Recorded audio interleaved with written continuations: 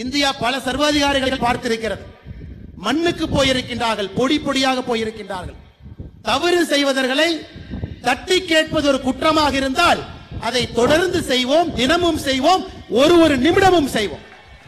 தமிழக சிறைச்சாலை முழுவதும் நிரம்பும் அளவுக்கு செய்வோம். அதில் எந்த மாற்று கருத்தும் இல்லை. இந்த ஆட்சி எங்கேயும் தப்பித்து போய்விட முடியாது. ஒரு பக்கம் வாய்க்கு வந்தையெல்லாம் இங்க இருக்கக்கூடிய அமைச்சர்கள் பேசுகின்றார்கள் எம்பிக்கள் பேசுகின்றார்கள். இன்னொரு பக்கம் நம்முடைய வாயை கட்டிக்கொண்டு எதுவும் பேசாமல் நம்பர் ஒன் முதலமைச்சர் என்கின்ற பட்டத்தை கொடுக்க வேண்டும் என்று திராவிட மாடல் ஆட்சி விரும்புகிறது. அது நடக்காது சகோதரர்களே நடக்காது. அது நடக்க விடவும் மாட்டோம். கடைசி பாரதிய ஜனதா கட்சியினுடைய தொண்டன் தமிழக மண்ணில் இருக்கும் வரை ஆராஜா அவர்கள் பேசியதை கேள்வி கேட்போம். கடைசி காவல்துறை நண்பர் இருக்கும் வரை எங்களை கைது செய்து நீங்கள் சிறையில் அடத்திக் கொண்டே இருக்கலாம். அதை பற்றி எங்களுக்கு கவலை கிடையாது. சிறைக்கு அஞ்சுபவர்கள் இந்த மேடையில் கிடையாது. மேடைக்கு கீழே இருக்கக்கூடிய தொண்டர்களும் கிடையாது என்பதை நம்முடைய முதலமைச்சர் திரு மு க ஸ்டாலின் அவர்களுக்கு தெரிவித்துக் கொள்கிறேன். நீங்க தான் சிறைக்கு போன கஞ்சினீங்க. மீசா வழக்கில் நீங்க சிறைக்கு போகவில்லை.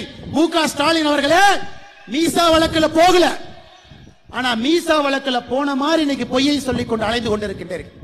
நீங்கள் உண்மையாலுமே சிறைக்கு எதுக்கு போனீங்கன்னு தெரியும். அதை போன்ற தவறான செயல்களை செய்ய மேடையில் இருக்கக்கூடிய எந்த தலைவர்களும் சிறைக்கு செல்ல மாட்டோம். நல்ல விஷயங்களை செய்து தமிழக மக்களுக்காக துணை நின்று ஒரு ஒரு பாரதிய ஜனதா கட்சியினுடைய தொண்டனுக்கு தேசிய தலைவரிலிருந்து பாரத பிரதமரிலிருந்து கடை கோடியில் இருக்கக்கூடிய தொண்டன் உங்க கூட நிற்கும் இந்த மேடையிலிருந்து தேசிய தலைவரை வைத்துக் கொண்டு மாநில தலைவராக இங்க இருக்கக்கூடிய ஆற்றல் மிகு மந்திரியாக இதை சொல்வது என்னுடைய கடமை. நூத்தி ஏழு தொண்டர்களை கைது செய்து விட்டீங்க. ஒன்பது மாவட்டத்தில். இதுக்கெல்லாம் பயப்பட போவது கிடையாது. இனி அதிரடியாகத்தான் எங்கள் அரசியல் இருக்கும். இதற்கெல்லாம் பணிந்து பாரதிய ஜனதா கட்சி பின்வாங்கிவிடும் என்று நினைத்தால் நிச்சயமாக நடக்காது நண்பர்கள்.